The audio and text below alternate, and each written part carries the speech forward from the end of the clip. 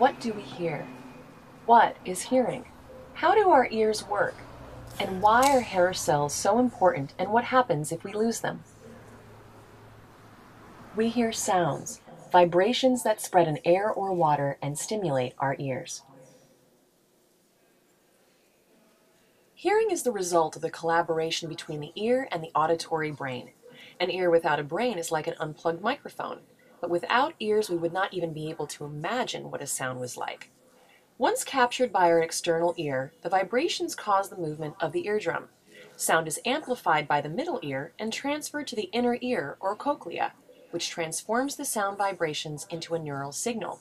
The auditory nerve feeds this coded message, which contains all of the sound's attributes, to the brain, where different structures work together to create the perception, I can hear. When awake, the process of hearing involves three different brain levels.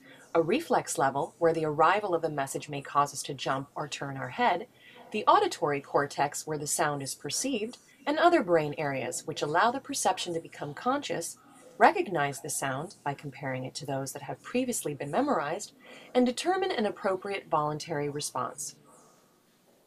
When asleep, our ears and auditory pathways are still working and reflexes can still occur but the other brain regions involved in emotions, motivations, memory, etc., are inactive. There are therefore no voluntary responses or conscious perception. The ear is composed of three parts the external, middle, and inner ear. The ear canal is closed off by the tympanic membrane, or eardrum. In the middle ear, the eardrum is mechanically linked by the ossicular chain to another membrane, which closes the inner ear. The hearing part of the inner ear is rolled up into a spiral called the cochlea. Sound waves are cut by the external ear and pass down the ear canal until they reach the eardrum and make it vibrate. The ossicular chain then mechanically transmit the vibrations to the liquid of the cochlea.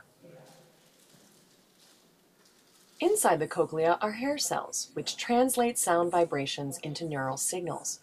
By zooming in on a transverse section of the cochlea, we can see the organ of Corti, which contains the sensory hair cells, and one single hair cell and its connection with the auditory nerve. After the sound has been translated by the hair cell, neural signals are sent to the brain through the auditory nerve.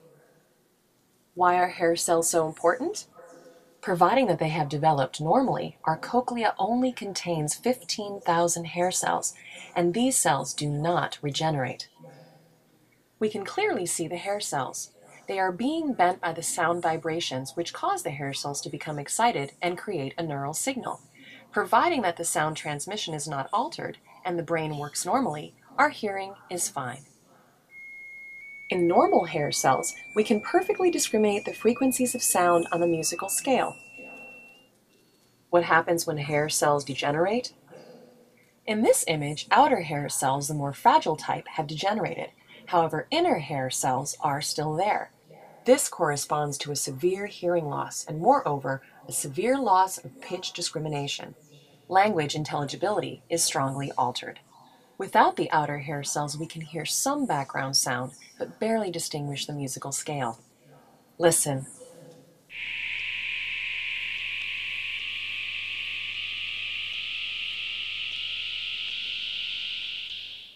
In this image, all hair cells have disappeared. This, of course, results in total deafness. Presbycusis is a progressive hearing loss with age. This type of hearing loss concerns mainly high pitches. When it affects the speech frequencies, it becomes a handicap, usually by the age of 80 or 90. Presbycusis may be accelerated by injury, such as loud noise exposures. Therefore, the handicap may start at a much earlier age, which may result in having, at 40, a 90 year old cochlea. This sound level scale, in decibels, classifies the sounds in our environment into four categories. Up to 80 decibels, there is no risk for the ear, regardless of the duration of the sound exposure. From 80 to 90 decibels, we are getting closer to the danger zone, but the risks are limited to very long exposures. Above 90 decibels is the danger zone. The louder the sound, the less time is needed for damage to occur. Exposure to high sound levels can cause irreversible damage to our hair cells, resulting in deafness and tinnitus. This animation represents the havoc caused by too loud a sound on one of our sensory cells. At about 90 decibels, the hairs may be gradually damaged and eventually the hair cell finally dies. If too many hair cells die, we lose our capacity to hear.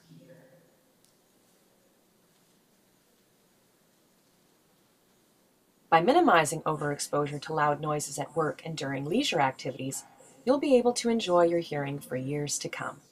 For more information, go to hearinghealthfoundation.org and cochlea.org.